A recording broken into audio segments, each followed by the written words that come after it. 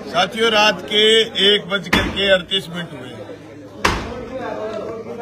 हमारे दिन में साथी अली शेर के घर पर एक्सिस बैंक ने ताला लगाया था।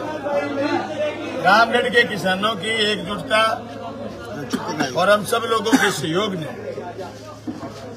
अली शेर के घर को खुलवाया, प्रशासन से मांग करके। हमने कोई हिंसा नहीं करी। हमने कोई ताला खुद नहीं तोड़ा।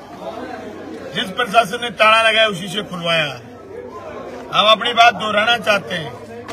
हम कहते हैं, बैंक करप्ट नहीं होना चाहते। हम कोई नीरव मोदी, मेहुल चौकसी नहीं है। हम सीधे साधे किसान हैं। कर्ज लिया है, कर्ज देंगे। लेकिन हम घर कुरक कर ले, कोई ये बर्दाश्त नहीं। रामगढ़ की धरती है ये हनुमानगढ़ गंगानगर ज़िले की धरती है, जो हमेशा संघर्षों की धरती रही है। इस धरती पर हमने नए जुल्म कभी बर्दाश्त हमारे बुज़ुर्गों ने करे और नए हम बर्दाश्त करेंगे। तमाम रामगढ़ के लोगों का धन्यवाद इस सहयोग के लिए। रमज़ान का महीना है। जो लोग रोज़े रखते हैं, वो भी यहाँ बैठे हैं। जो लोग खेत में सरसों काटते हैं, काम करते हैं दिन भर। वो लोग भी इस धरने में बैठे हैं। पता है, आज तो बारी अली शेर की थी। कल बारी किसी और की आती है।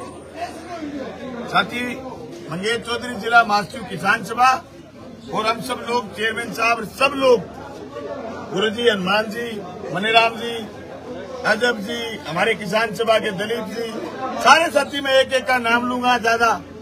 विनोद जी, सब लोग हैं। साथी ओम संगर है सब लोग सबके नेतृत्व में, गाँव के लोगों का वही सहयोग मुझे याद आया तो 2018 में हमने बैंक से ब्याज वापस लिया था।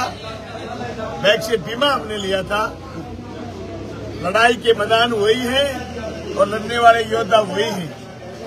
बैंक वालों से एक ही कहना है, अगर किसी किसान में आप पैसे मांगते हो, चाहे उसने छोटे मोटे व्यापार के लिए लिए, आप आगे डायलॉग करिए।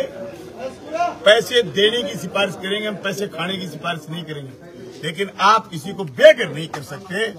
ये बात हम दोहराना चाहते हैं और आज प्रशासन को बताने के बाद, साढ़े पाँच बजे के बाद ये करीब आठ नौ घंटे लगे हैं। आठ नौ घंटे में प्रशासन ने जनता की बात सुनी है, सारी जनता को बधाई और प्रशासन के उन तमाम अफसरों का धन्यवाद, जिन्होंने गलती तो करी, लेकिन सुधार ली बहुत बहुत धन्यवाद। शुक्रिया।